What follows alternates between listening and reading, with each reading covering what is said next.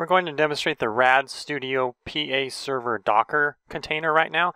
So first I'm going to SSH into the server here.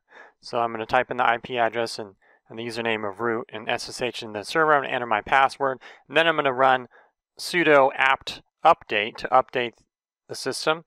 And then after that I'm going to run sudo apt install Docker. So that's going to install the Docker files that you need to, to run Docker images. And so that's installing right now. And now I'm going to run docker pull rad studio PA server. And that's going to download the, the PA server Docker image container. And so now I'm going to run it, the, the PA server Docker image container in foreground mode, and you can see here that's going to be listening on port 64211.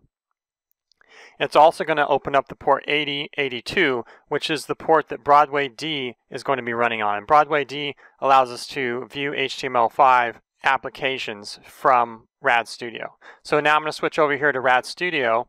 I'm going to run this application here, and it's going to deploy this this FireMonkey application to the Linux machine, and then it's going to load it up on the HTML5 Broadway D server, and we're going to view it in the web browser.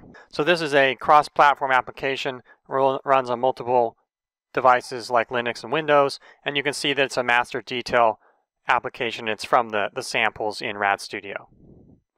And so then we're going to bring up the web browser over here, and this is deploying directly from the RAD Studio IDE up to the Docker image that we just started running PA server.